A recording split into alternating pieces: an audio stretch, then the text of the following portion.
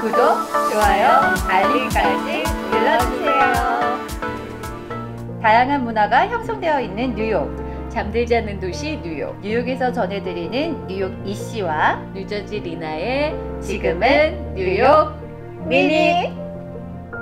지난주에 방탄소년단이 빌보드 핫 100에서 그 6주 이상 1위를 했다라는 이야기 들려드렸잖아요. 음, 7주 7주 이번 1위를 주까지 네 했습니다. 제가 지난주에 잘못 말하고 7주요? 이랬다는 네, 네. 어, 된 그러니까 거지. 이게 지금 어? 어어 오늘 성직글인데? 어. 8주 해야 되나? 어떻게 8주를 할 것 같아요. 그렇지. 지금. 오, 네. 이게 7주까지 간다는 게 대단하네 진짜 그러니까요. 근데 신고까지 나왔는데도 그렇죠. 그래서 오늘 음. 그 얘기를 조금 해 드릴게요. 이제 방탄소년단이 빌보드 핫 100 연속 7위를 하고 8주 1위를 지금 목전에 두고 있어요. 음. 7주 이상 핫 100에서 1위를 한 여덟 번째 가수가 됐습니다. 음. 네, 지난주에 핫 100에서 핫샷 데뷔를 한 곡은 총 54곡이라고 했잖아요. 네. 자, 이제 7주 이상 1위를 한 여덟 번째 가수가 됐는데 어. 7주 이상 한 가수를 좀 찾아봤는데 기록이 이렇게 많지는 않았어요. 네. 아리아나 그란데가 2018년 11월 17일에 Thank You Next라는 노래로 7주 음. 연속 1위를 했고요. 음. 그 다음에 2019년 2월 2일, 그러니까는 11월부터 사실 그 다음에 2월까지 아리아나 그란데가 계속 1위를 한 거나 마찬가지예요, 지금. 어. 예. 그때 2월 2일부터 Seven Rings라는 노래로 또 7주 1위를 합니다. 어. 이 Seven Rings는 Sound of Music에서 My Favorite Thing, 그 음, 음. Favorite Thing 노래를 샘플링한 노래예요. 아. 예. 그래서 이렇게 했고, 그다음에 1964년에 비틀즈가 I Want to Hold Your Hand 이 노래로 7주 연속 1위를 했어요. 만약에 8주 1위를 한다 그러면 음. 어 이제 어떤 기록을 또 가진 가수와 함께 어깨를 나란히 하게 되냐면 음. 95년 9월 달 머라이어 캐리의 판타지 이게 음. 8주 1위를 했고요. 2018년 4월 캐나다 가수예요. 드레이크라는 가수가 어. Nice for What 이라는 노래로 또 8주 연속 1위를 했어요. 어. 그 다음에 올해 초 어, 올리비아 로드리 로드리고 이 가수의 기록을 지금 방탄소년단이 깨고 7주 연속 1위를 하고 있는 거잖아요. 그래서 요 가수가 8주 연속 1위를 했거든요. 어. 요 기록을 같이 가지게 되는 겁니다. 그러네요.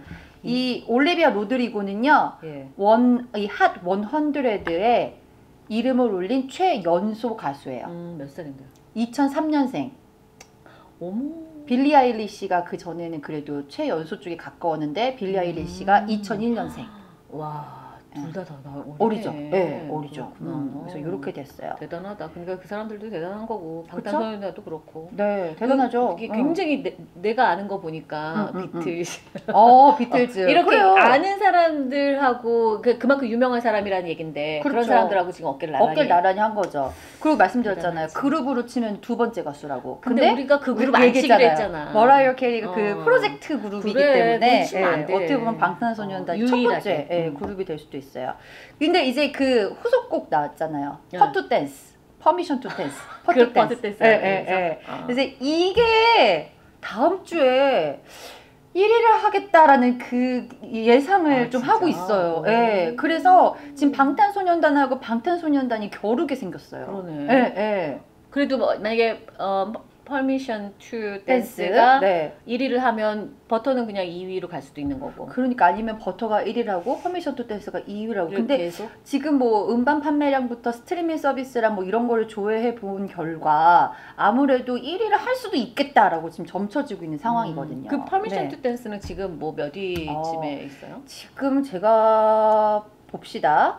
이거를 응. 바- 그거를 제가 확인을 해봤더니 Permission to Dance가 지금 상위권에는 없어요. 어. 지금 100에는 어, 올리비아 로드리고가 2위예요. Good for You. 그다음에 어. 두아 리파가 3위. 그다음에 음. 도자 캣이 4위고 닐 나섹스 저번 주에 설명드렸죠. 이 친구가 5위인데 음. 이닐 나섹스의 몬 몬테로 이 노래도 1위 1위에 굉장히 오랫동안 머물렀던 노래거든요. 아, 예. 근데 그래서 뭐 여기는 아직 안 올라와 있어요. 안 올라 있구나.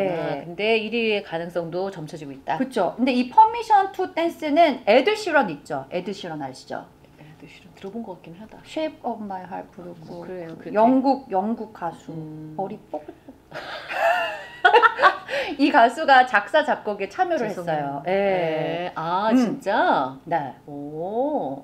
그리고 작사 작곡? 작사 작곡 에드 시런이 어, 방탄소년단 진짜? 노래를. 네. 이게 아마 두 번째 협업일 걸요. 그 전에도 에드 시런이 한번 방탄소년단하고 손잡고 뭘 했던 기억이 이- 있거든요. 네. 그리고 이제 이게 9일에 지난 9일에 Permission to Dance가 공개가 됐는데 음. 공개하자마자 스포티파이 있죠. 스파티파이. 여기 이 음원 사이트에서 음. 글로벌 top 200 2위로 진입을 했어요. 글로벌 top 2 네. 그다음에 뮤직비디오를 공개했더니 52시간 만에 유튜브 뉴욕 조회수가 1억 view를 넘겼어요. 와, 네. 1억 view. 네. 그러니까 어마어마하다. 다음 주에 1위를 할 수 있겠다라고 지금 점을 칠 수밖에 그렇구나. 없는 거죠. 네. 그렇게 되면은 방탄소년단과 방탄소년단의 세계 대결이 되겠어요. 그러네요, 네. 그러네요. 다음 주 더 기대됩니다. 그러니까요. 다음 음. 주에 과연 8주 1위를 할지 음. Permission to Dance, Per to Dance가 어떻게 오를지 요거를. 조금 예, 저- 또 정리해서 또 보내 드리도록 하겠습니다. 네. 자, 그래서 오늘은 좀 빌보드 역사를 알려드리려고요. 음. 빌보드가 언제 처음 시작됐는지 아세요? 빌보드 핫 100가 맞춰보세요. 그때 거의 1800년대라 1800년대? 그렇게 오래? 1940년대. 1900. 어, 어, 그거는 너무 빨랐어요. 이게 1958년도에 시작했어요. 아. 개띠해. 너무 투머치 인포메이션이다. 오팔 때 너무 그러니까, 유명하잖아. 그러니까. 정확히는 58년 8월 24일 개설됐는데 이 빌보드 핫 100가 개설되기 전에는요. 음. 어떤 게 있었냐면 전미의 주크박스에서 제일 많이 플레이된 곡 차트 주크박스 아시죠? 그 카페 같은 데 식당 같은 데? 가면 기계. 있는 예, 거. 예. 그거 전 본 적 있어요. 그러니까 그걸 그냥 전시를 해놓은 건지 이제 실제로 응. 작동도 할 수도 있는 것 같던데. 어, 근데 있더라고요. 이렇게, 이렇게 넘어가 갖고 왜 네, 선택해서 하는 이게. 네. 그거 그 가끔 있더라. 그러니까 네, 어딘가에 있어요. 그래서 실제로 해보진 않았는데, 어 이게 옛날에 그거구나. 그러니까. 그리고 왜 그게 페니를 넣어서 했다잖아요. 아. 네, 그래서 그걸 페니 뭐라고 하는 게 있어. 아. 어, 내가 이렇게 너무 이렇게 겉핥기식으로 알아갖고 오. 정확하게 전해드릴 수가 없네. 그래서 이 one hot 어. one hundred 전에는 음. 주크박스에서 제일 많이 플레이된 곡 아니 나 쿼러를 하나 넣어야 되는 걸로 알고 있다. quarter? 어, 돈 많이 벌었겠다. 그렇죠. 음. 그 다음에 전미의 라디오 DJ들이 가장 많이 플레이한 곡 차트. 음. 그 다음에 전미의 음반 가게에서 가장 많이 팔린 곡 차트. 아 빌보드 네. 전에는. 네. 어. 그 다음에 빌보드 Top 100의 전신이라고 볼 수 있는데 Honor Roll of Hit 이렇게 이렇게 어. 돼 있었대요. 그래서 Honor Roll of Hit 요거는요. 네. 45년 3월 24일에 시작을 했는데 네. 방금 말씀드렸던 뭐 주크박스에서 많이 플레이된 곡, 라디오 DJ가 많이 들은 곡, 레코드 가게에서 많이 팔린 거 요거를 합산을 해서 만든 거였대요. 아 음. 지금도 그래서 그렇게 하는구나. 그래서 요게 빌보드 one, Hot 100의 전신이 된 거예요. 아. 예. 근데 1위에서 10위 그리고 30위까지만 발표를 했었대요. 음. 그래서 지금은 이렇게 그러니까 100위까지 하는 거죠. 그렇죠. 이 빌보드 Top 100가 Hot 100 전에 이 Rolls of Hit 다음으로 이렇게 생겼잖아요. 네. 그래서 이게 1955년 11월 둘째 주에 시작이 됐다가 음. 빌보드 핫 100 차트로 58년에 음. 정확하게 시작을 하게 된 거예요. 그렇군요. 그러면 이 빌보드 핫 100 역사상 처음 1위를 한 사람이 궁금하지 않아요? 그러네. 그렇죠. 역사상 그렇게 그래, 명예로운 거잖아요. 그렇죠. 최초로 1위를 달성한 노래는요. 그 당시 인기 teen 아이돌로 불렸대요. 리키 넬슨. 어 모르겠다. 음, 저도 모르겠어요.